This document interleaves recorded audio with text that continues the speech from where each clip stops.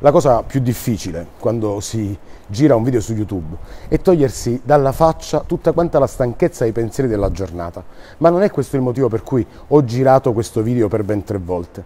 Il motivo è che non ne sono completamente soddisfatto. Infatti probabilmente ritorneremo su questi argomenti anche altre volte. E questo perché alcuni di voi mi hanno chiesto di parlare di come io personalmente imposto la mia macchina fotografica quando esco a fare street photography. Ecco, è una responsabilità. La nostra è un'arte che non merita una macchina fotografica non pronta per assecondare la nostra creatività.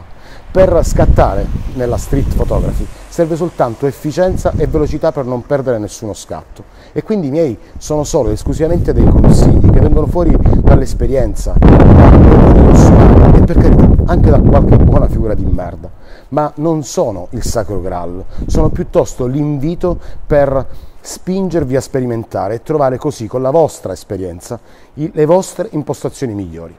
Fotografare significa scrivere con la luce e per farlo bisogna dosare bene la luce, ma servono solo e esclusivamente tre parametri, ISO, tempi e diaframma. Ecco, questo è un canale dove voglio sfatare il mito delle bugie, perché le bugie di Pulcinella non esistono tantomeno nella street photography. Quindi mi sentirete dire che scatto gli automatismi, mi sentirete dire anche che per non perdere neppure uno scatto in velocità utilizzo tempi di un millesimo di secondo, a volte sono scatto addirittura più veloce e mi sentirete dire anche che la profondità di campo la scelgo quando scatto fotografie e non quando compro la macchina fotografica, ma soprattutto mi sentirete sempre dire che sbagliare non è reato. Ci vediamo dentro. Benvenuti signore e signori, benvenuti in questo mio nuovo video. Questa volta inizio il video della settimana come fanno tutti i veri youtuber. No, senza unboxing. Lo faccio però dicendo che in tanti mi avete chiesto come impostare la fotocamera durante le uscite di fotografie di strada. È arrivato perciò anche per me il momento in cui faccio un video virtuale in cui spiegherò le mie impostazioni per la fotografia di strada e perché le uso praticamente in tutti quanti gli scenari. Oggi mi concentrerò soltanto su questo, attraverso le impostazioni della fotocamera una per una, iniziando da quella che per me però rimane quella più importante, anche se alla fine del video mi tengo un paio di minuti per dirvi alcuni casi speciali in cui queste impostazioni potrebbero non essere appropriate e quindi ne utilizzeremo delle altre. Ci tengo però a fare soltanto un piccolo preambolo per dirvi che fotografare, in fin dei conti, non è difficile, è semplice. Servono soltanto tre parametri della fotocamera da tenere in considerazione. Tutto il resto lasciamolo a chi fa sport. E finché mi ha retto il fisico, credetemi, lo sport aveva senso soltanto se ti fa sudare. Se no, diventa polemica. Ok, questa la taglio, la taglio, la taglio giù. Quindi partiamo subito da, dalla modalità di scatto, che personalmente la reputo anche la parte più importante in fotografia. E no, ve lo dico subito, io non scatto in manuale, anzi, Appena sento qualcuno che dice di scattare in manuale nella street photography, personalmente scappo lontano. Non lo reggo, mi parte proprio l'embolo, mi si gonfia la vena, qua, qua, non ce la faccio. E questo non perché io non sappia scattare in manuale oppure perché non potete farlo voi, ma soltanto perché la modalità manuale te la puoi permettere soltanto in studio quando fotografi un soggetto oppure un paesaggio, oppure quando vuoi farti il figo Punto. Non la puoi utilizzare la modalità di scatto manuale quando devi saper raccontare un momento spontaneo che solitamente dura un secondo e anche meno e molto probabilmente non, ri non ricapiterà più. Ok, basta con le polemiche, piuttosto lasciamole nei commenti, anzi Iscrivetevi subito al canale, se vi piace questo progetto di F4.0 commentate subito con soltanto uno di voi ha avvelenato il caffè e non siate timidi, provate a indovinare il motivo di tutti quanti questi, questi commenti, perché la maglietta è sempre in, sempre in palio e soprattutto è sempre figa. Dicevamo, io personalmente scatto in priorità di diaframma. Per essere ancora più chiaro, la priorità di diaframma è una modalità che è semiautomatica, in cui imposti manualmente soltanto il diaframma e poi la fotocamera regola automaticamente anche i valori di ISO e la velocità dell'otturatore. Questo mi consente di avere il pieno controllo sulla profondità di campo, che è particolarmente importante nella fotografia di strada, ma mi lascia comunque allo stesso tempo una libertà sufficiente per concentrarmi sulla composizione senza dovermi più preoccupare dei settaggi tecnici. Questa impostazione quindi ti consente di avere proprio il controllo più importante in fotografia, e cioè il diaframma. Per tutti quelli che ancora non hanno grande familiarità con questa impostazione, eh, vi dico subito che il diaframma definisce la profondità di campo nell'immagine finale. Il numero più basso disponibile sull'obiettivo, come per esempio 1,8, ti darà la profondità di campo più ridotta e ti fornirà quell'effetto di sfocatura o di bokeh che piace a tanti. Mentre invece se scegli un numero più alto del diaframma avrai una profondità di campo molto maggiore e questo può essere utile se vuoi che tutti quanti gli elementi della scena siano tutti quanti nitidi e a fuoco. Impostando perciò la fotocamera in questa priorità, puoi sempre avere il pieno controllo sulla profondità di campo e creare in questo modo delle immagini con degli effetti visivi molto interessanti. Ora ci tengo a dire che non è una regola eh, il diaframma da utilizzare nella street photography, devi scegliere tu cosa vuoi raccontare e sarai soltanto tu a scegliere quello che preferirai in base alla scena. Questo per me però è quello che fa la differenza più grande tra un'immagine e un'altra ed è proprio questo il motivo per cui vogliono sempre averne il controllo completo. E poi essendo anche una modalità semiautomatica in opposizione alla modalità manuale completa è molto più facile e molto più veloce da utilizzare una volta che si è capita bene.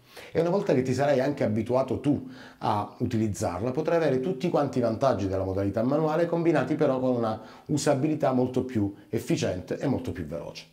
Infatti, grazie a questa modalità di scatto, avrai molto più spazio per concentrarti su quello che ti sta accadendo intorno e su quello che invece potrebbe essere interessante da fotografare, senza essere impegnato quindi ad aggiustare tutte le volte le impostazioni della macchina, perdendoti quei momenti che invece avresti voluto fotografare. Con queste piccole spiegazioni, diciamo così, spero anche di averti eh, convinto sul perché la priorità di diaframma è la migliore modalità di scatto da utilizzare nella street photography. Vediamo però anche alcuni parametri che devi sapere impostare perché questa modalità risulti veramente perfetta. Così come vi ho accennato prima, la fotocamera imposta automaticamente la velocità dell'otturatore e anche il valore ISO, ma puoi comunque avere sempre un controllo eh, in più sulla fotocamera e dirle eh, in quale range vuoi che questi valori debbano lavorare. Praticamente puoi dire sempre alla fotocamera di non andare mai sotto una certa velocità di scatto e di non superare mai un certo valore di ISO. Questo ovviamente dipende dalla, dalla, fotocamera che stai utilizzando, ma la maggior parte delle fotocamere che sono oggi in commercio, quelle nuove, possono arrivare tranquillamente fino a 6400 ISO e ottenere delle immagini che sono sempre utilizzabili. Io attualmente uso una Sony A7 IV con cui tranquillamente la imposto a 6400 ISO, ma facevo la stessa cosa anche con la mia Fuji X-T4 e ho provato che va benissimo anche sulla Canon R7 e la Canon R10, così come tutta quanta sulla serie S della Panasonic. Adesso è arrivato il momento anche di impostare la velocità minima dell'otturatore che vogliamo. Per fare questo però dobbiamo tenere a mente una regola particolare. Dobbiamo prendere infatti in considerazione l'obiettivo che stiamo utilizzando, perché più è lungo l'obiettivo, più è lunga la lente, più veloce deve essere la nostra velocità minima dell'otturatore. C'è una regola generale, vi dicevo, che dice che la, la tua velocità minima dell'otturatore deve essere il doppio della lunghezza focale che stai utilizzando.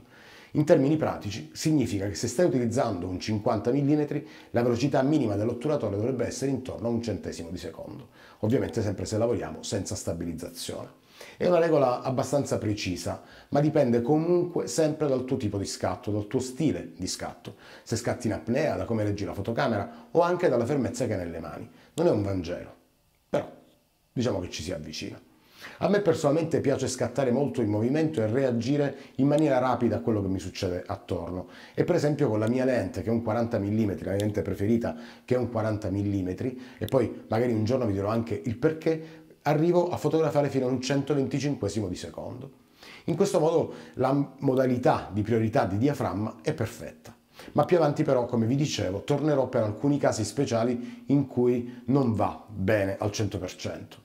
Ma vi dico che questo modo di impostare la macchina fotografica è normalmente il modo che utilizzo per il 95% del tempo che io sto in strada. Passiamo invece adesso scusatemi, a quella che è la modalità di messa a fuoco e all'area di messa a fuoco, ma tralascio volutamente il fuoco manuale e l'utilizzo dell'iperfocale per cui voglio fare un video apposta in maniera molto più approfondita. Personalmente ve l'ho detto, mi piace scattare molto in movimento e la maggior parte dei soggetti che fotografo sono anche in movimento, quindi utilizzo la modalità di messa a fuoco continua. E non sto a tirare le parti adesso a una macchinetta piuttosto che un'altra, perché le fotocamere mirrorless moderne, quelle attuali, hanno un autofocus che è molto buono e personalmente lo considero un peccato non utilizzarlo al massimo delle sue potenzialità. E per l'area poi di messa a fuoco utilizzo la modalità di tracciamento che è combinata con la modalità spot esteso e questo lo faccio per avere un margine maggiore di manovra in fase di composizione, perché quando premo a metà il pulsante di scatto, allora la fotocamera inizia già a mettere a fuoco il soggetto e a tracciarlo e vi assicuro che questo è assolutamente utile quando hai già la composizione in testa, oppure hai già preparato il, la fotografia e il soggetto finalmente ti entra nel frame. E diciamola pure tutta, questo sistema ti permette anche di scattare a raffica per mantenere sempre il soggetto a fuoco nell'immagine. Un altro scenario in cui trovo molto utile il tracciamento del fuoco è quando per esempio non ho il tempo di spostare il punto di messa a fuoco all'interno dell'immagine, posso utilizzare il buon vecchio metodo del punta e poi ricomponi. Ecco fatto. La modalità di messa a fuoco e l'area di messa a fuoco sono impostate e spero che con questi consigli anche tu tornerai dalla prossima battuta fotografica con tutte quante le fotografie a fuoco, o quasi. Passo adesso a quello che è il bilanciamento del bianco ed è un argomento che tratterò in maniera veramente molto molto veloce perché così come per la modalità manuale vado dritto al punto. Io utilizzo il bilanciamento del bianco in automatico. Perché? Perché personalmente scatto in RAW e tralasciando tutte quante le teorie empiriche ho tutta quanta la libertà che voglio in post-produzione di cambiare il bilanciamento del bianco. Quindi non mi preoccupo di cercare l'impostazione migliore quando sono in strada a scattare fotografie. Parlo adesso invece della cosa che forse è più complicata nel settaggio della, fo della fotocamera, cioè la misurazione dell'esposizione. La misurazione dell'esposizione è qualcosa che non è particolarmente affidabile nelle fotocamere, o almeno non in tutte le condizioni, quindi personalmente vi consiglio di giudicare sempre quello che state vedendo voi o nel mirino oppure nello schermo, ovviamente sempre tenendo, tenendo presente quello che è il vostro risultato finale che volete ottenere. La fotocamera cerca sempre di trovare un'esposizione perfetta per quello che stiamo fotografando, ma in molti casi questa esposizione perfetta non corrisponde all'immagine che noi abbiamo in testa o alla foto che vogliamo scattare. Quindi impariamo a compensare. C'è una rotella apposta in tutte quante le fotocamere che è dedicata solo a questo. Impariamo a utilizzarla. In termini pratici, io uso la modalità di misurazione dell'esposizione multizona che misura la luce e imposto una corretta esposizione su tutto quanto il frame. In base a questo poi utilizzo la compensazione dell'esposizione e la imposto di default a meno 0,3 stop di base, perché le fotocamere attuali sono molto più brave a mantenere i dettagli nelle ombre anziché nelle luci. Quindi è meglio sottoesporre e recuperare le ombre in post-produzione piuttosto che fare il contrario. Ovviamente anche questo non, non, non, è un Vangelo, perché come vi dicevo dipende sempre dalle condizioni e da quello che personalmente voglio fotografare. Infatti se mi trovo in un ambiente che è particolarmente contrastato e voglio assolutamente mantenere le alte luci eh, e le parti più luminose, vado anche sotto questo 0,3 e scendo addirittura fino a meno 2 stop. E tutto questo sempre e soltanto con questa manopola della compensazione. Concludo il video adesso parlando di quei casi speciali di cui vi parlavo prima, in cui queste impostazioni in realtà potrebbero non essere appropriate. Il primo di questi casi è sicuramente la sfocatura di movimento. Ovviamente con la velocità dell'otturatore minima che abbiamo impostato in precedenza eh, sarebbe impossibile creare una sfocatura di movimento oppure creare delle lunghe esposizioni. Faccio scatti simili soltanto in occasioni molto particolari e soltanto dopo aver prima previsualizzato lo scatto, perciò quando lo faccio cambio semplicemente la modalità e scelgo la modalità priorità dell'otturatore, che funziona essenzialmente come funziona la modalità di apertura del diaframma, ma l'unica impostazione su cui ho il pieno controllo è la velocità dell'otturatore. Quindi a seconda del risultato che desideri, puoi impostare la velocità dell'otturatore e ottenere perciò lo scatto che vuoi anche tu. Basta poco, basta soltanto variare la rotella, da priorità diaframma a priorità tempi. Un altro scenario poi in cui cambio le mie impostazioni di base è sicuramente la fotografia fatta di notte. E questo a causa della poca luce, perché mantenere la velocità dell'otturatore minima come si l'abbiamo impostata in precedenza di giorno è sicuramente impossibile. Quindi non faccio altro che ridurre al minimo eh, i tempi di scatto con cui però mi sento ancora a mio agio, considerato sempre per esempio lo stesso obiettivo di 40 mm lo tengo intorno a un trentesimo di secondo. Ma adatto ovviamente il mio tipo di scatto, il mio approccio allo scatto, perché non posso essere dinamico come lo sono di mattina, quindi utilizzo un approccio per così dire un po' più riflessivo. E qualora invece volessi congelare un'immagine, un momento, posso sempre reimpostare il tempo più veloce con un tocco, sempre con quella famosa rotellina. Di notte poi la misurazione della luce è sicuramente meno affidabile rispetto al giorno, quindi è questo il motivo per cui quando scatto di notte utilizzo molto la compensazione dell'esposizione e prendo le mie decisioni sempre su quello che vedo nel mirino oppure nello schermo. Ed è per questo motivo che vi consiglio di fare altrettanto e di non fidarvi soltanto di quello che dice la macchina fotografica. Detto questo penso di aver un po' toccato tutti i punti che volevo affrontare parlando del, dei settaggi della mia macchina fotografica e spero che questi consigli ti possano essere d'aiuto e infatti vorrei tantissimo sapere nei commenti giù sia cosa ne pensi o anche delle domande specifiche. Vi saluto e non vedo l'ora di vedervi la prossima settimana in cui parleremo delle regole di composizione, probabilmente però come non ne avete mai sentito parlare. Ciao!